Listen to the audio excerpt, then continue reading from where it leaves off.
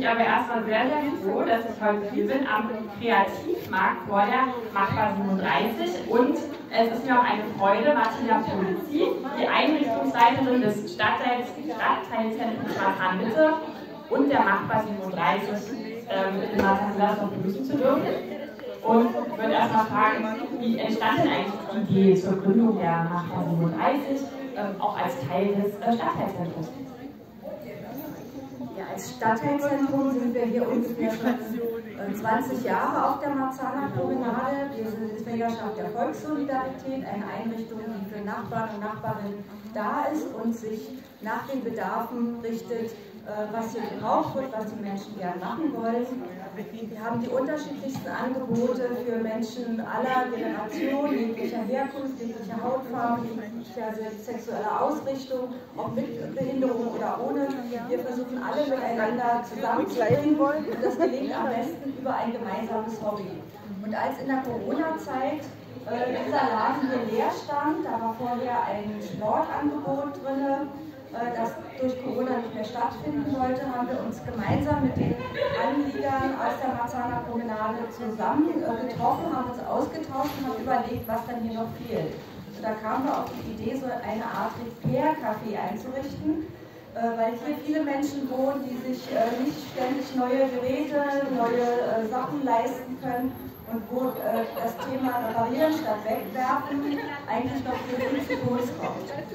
Dann haben wir ein Konzept geschrieben, haben das der DGWO eingereicht und haben dann den Zuschlag bekommen, haben dann überlegt, wie wir die Einrichtung nennen, haben dann eine kleine Umfrage gemacht hier in der Marzahner Promenade und die meisten Stimmen bekamen der Titel Machbar 37, weil hier tatsächlich alles machbar ist und die, die Menschen können sich hier kreativ betätigen, können ihre eigenen Ideen umsetzen. Wir geben hier gar nicht vor, was hier passieren soll, sondern die Menschen kommen zu uns und sagen, was sie gerne hier machen möchten.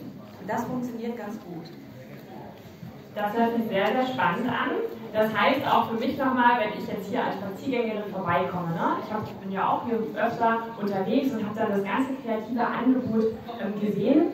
Ähm, was passiert mit diesen Kunstobjekten oder auch mit ähm, den reparierten Geräten, mit dem ähm, wunderschönen äh, Strickwaren? Ähm, was machen Sie damit? Also in erster Linie kann hier jeder für sich selbst tätig werden. Das heißt, wer was Kaputtes mitbringt, der nimmt das Reparierte natürlich auch wieder mit zurück. Wenn er uns dafür eine kleine Spende da lässt, dann freuen wir uns. Aber eigentlich sind hier alle Angebote kostenlos. Wir nehmen ein kleines Stuhlgeld für die Gruppen, die sich hier regelmäßig treffen. Ansonsten kostet es nichts, wenn man hier mitmacht. Und wer sich selber ein Kleid nähen will oder eine Münze stricken, der darf das gerne machen. Und wer einfach nur Spaß am Stricken oder Nähen hat und selber für sich gar nichts braucht, der kann das für uns zur Verfügung stellen, sodass wir dann solche Veranstaltungen wie heute damit ausstatten können, dass wir hier die Angebote zeigen können, dafür Spenden einnehmen können, um dann wieder neues Material zu kaufen oder mal eine neue Nähmaschine oder mal Farbe für unsere Kreativangebote oder ein Werkzeug, das wir brauchen, um bestimmte Sachen zu reparieren. Das heißt, wenn ich ähm, zum Beispiel ein neues Kleid nehmen möchte, aber ich habe keine Nähmaschine, kann ich auch herkommen, oder? Selbstverständlich. Wir haben Nähmaschinen, die für Anfänger geeignet sind. Wir haben auch Nähmaschinen, die für Fortgeschrittene geeignet sind. Und die Frauen, die hierher kommen, die sind dann auch bereit, ihr Wissen an die noch unerfahrenen Menschen weiterzugeben. Ja, das hört sich sehr spannend an. Ähm, das habe ich ja am Anfang schon angekündigt. Sie sind auch Einrichtungsleiter vom Stadtteilzentrum. Sie haben auch eben schon ein paar Worte gesagt dazu. Ähm, mich interessiert, welche Rolle denn das Stadtteilzentrum auch wirklich für die Anwohner und Anwohnerinnen auch auf der Marzahner Promenade hat.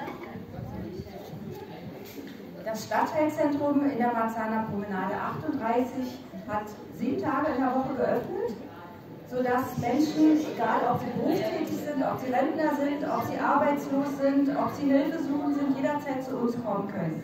Und wir haben ein ganz buntes Angebot. Sie können sich da gerne nachher auch mal so einen Flyer mitnehmen. Da sind die Angebote, die regelmäßigen Angebote alle drauf. Ganz besonders beliebt sind unsere Beratungsangebote.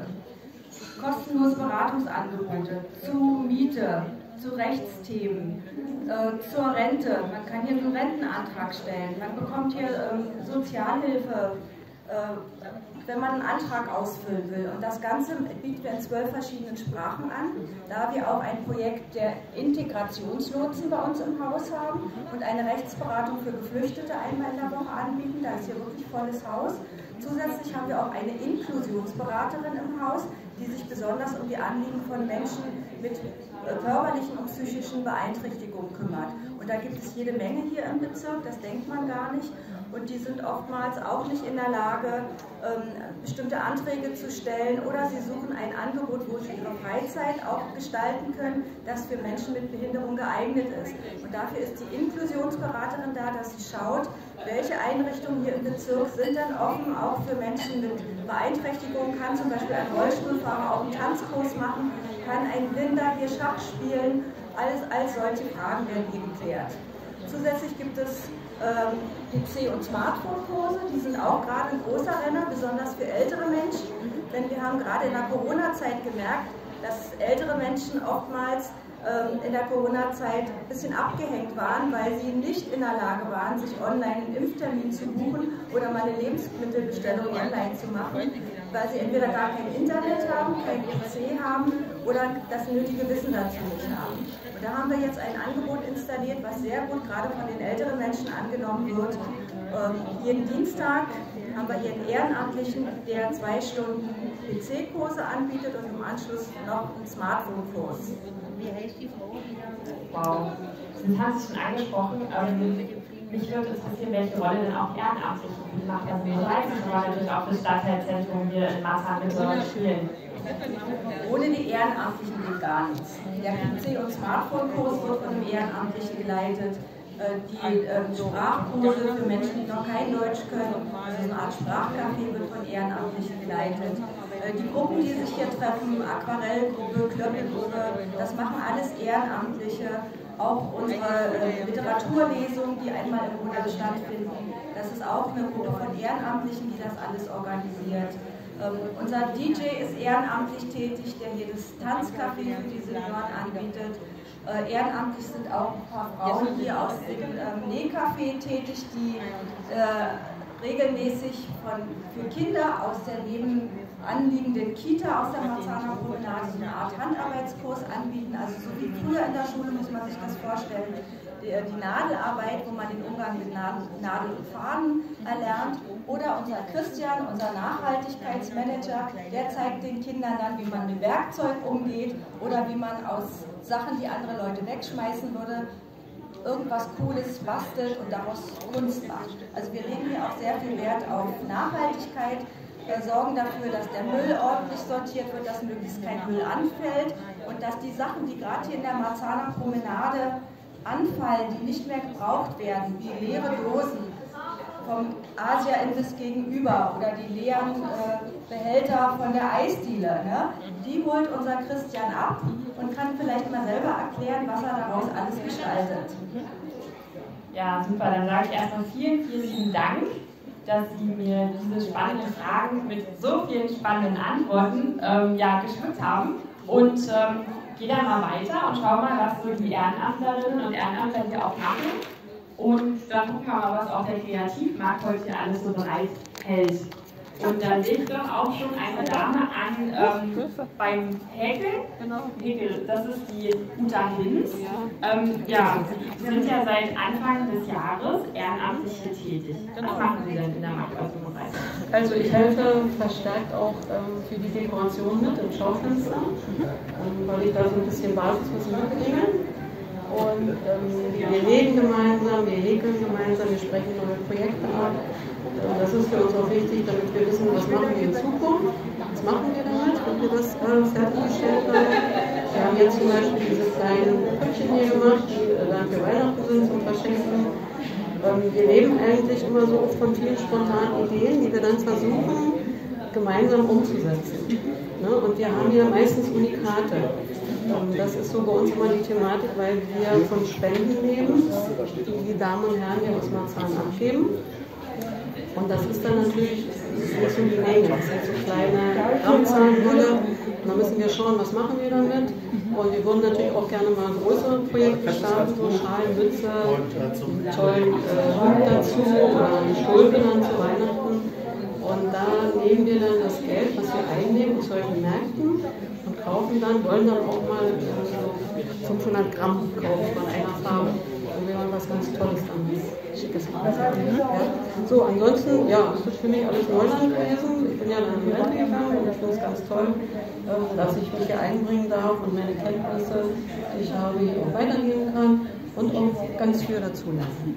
Das ist für mich wichtig, also dieses Dazulernen. Ja? ja? Und jetzt haben Sie schon ganz viel vom Nähen gesprochen. Mich interessiert nochmal das Angebot des Nähcafés. Ähm, da sind Sie auch ehrenamtlich äh, mit dabei. Ähm, wann ist das und wer kommt denn da so vorbei? Ja. Also es ist ein offenes Nähcafé. Und zwar ähm, freuen wir uns auf jeden, der gerne mitmachen möchte. Immer dienstags und donnerstags von 10 bis 16 Uhr. Das sind so unsere Kernzeiten. Also man muss jetzt nicht immer jeden Dienstag kommen, jeden Donnerstag, wenn das nicht passt. Aber man kann auch unregelmäßig daran teilnehmen, man kann wieder gehen nach einer Stunde oder man kann ein bisschen später kommen. Aber äh, das ist nicht so, ich sag mal, dieser Zwang da ist. Ne? Wenn man jetzt einen Haushalt hat oder Kinder, dass man sagt, ich habe jetzt schnell eine Stunde, ich gehe noch vorbei und freuen wir uns ganz doll. Ja? Also jede und jeder ist willkommen und kann auch in diesen Zeiten, wenn es auch mal kurz ist, mal eine Stunde vorbeikommen und mitmachen oder auch Wolle mitbringen ähm, wenn nicht, haben Sie aber auch Materialien hier vor Ort, oder? Ja, wir haben auch Material da. Von, von den Spenden müssen wir schauen, was passt, was, was ist jetzt geplant, was wollen wir damit machen. Ja, und so, so funktioniert das. Ne? Super. Und dann habe ich noch eine letzte Frage. Ähm, als, ne, das nehme ich ja auch wirklich hier auf der Matana-Promenade war, die Frau Polizei hat es ja auch gerade gesagt, Ehrenamtler sind so das Herz der Promenade. Ähm, was macht es für Sie aus, ehrenamtlich tätig zu sein? Warum sind Sie ehrenamtlich tätig? Ja, erstmal, ich war viele Jahre Unternehmerin. Und wenn man dann so in Rente geht und merkt, ähm, hm, was machst du jetzt, der Tag ist lang. und da möchte ich mich natürlich äh, noch einbringen. Das ist für mich wichtig. Also ich bin nicht, ich, ich meine, ich habe zu Hause genug zu tun, ich habe auch einen Garten, da kann ich mich auch betätigen, aber ich möchte gerne in, in, Gesellschaft. Und ich möchte einfach noch, nicht nur ich dazugehören, sondern diese Geselligkeit, die ist mir die liegt mir sehr am Herzen. Gerade in Marzahn, dass man auch sagen kann, nicht bloß immer diese Hochhäuser, das ist immer so anonym. Ne? Man steigt in den Fahrstuhl ein und dann ist man auch immer verschwunden. Sieht man den Nachbarn nachher gar nicht mehr oder weiß gar nicht, dass der schon zehn Jahre neben mir wohnt.